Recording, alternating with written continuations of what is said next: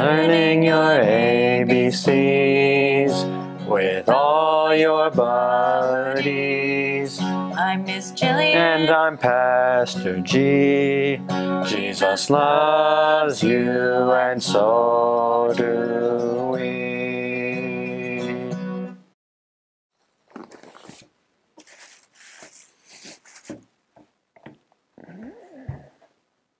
Hi, Pastor Greg. Um, what are you doing? B is today's letter for Bible ABC, so I'm just trying to figure out which foods begin with B to eat for breakfast.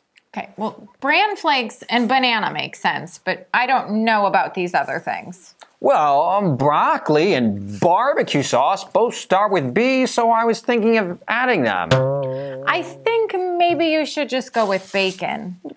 But you're right. B is the letter of the day. This is an uppercase B, and this is a lowercase b, and they make the b sound.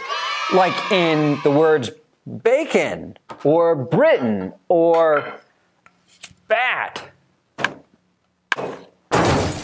Or baseball, or barn?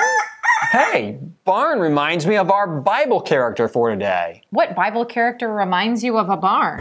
Well, since we're definitely not talking about Belshazzar or Beersheba to preschoolers, we are talking about Barnabas. Was Barnabas a farmer?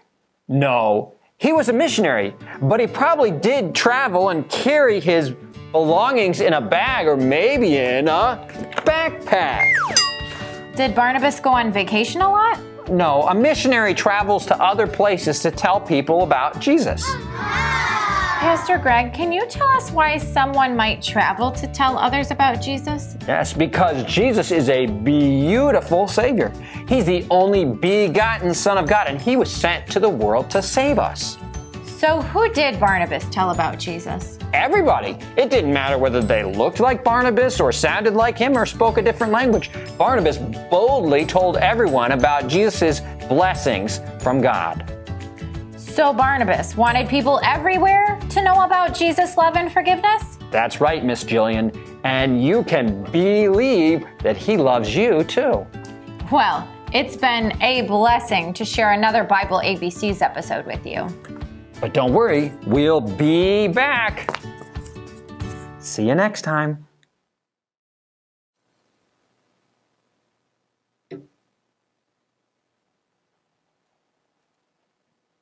Um, have you finished your breakfast yet?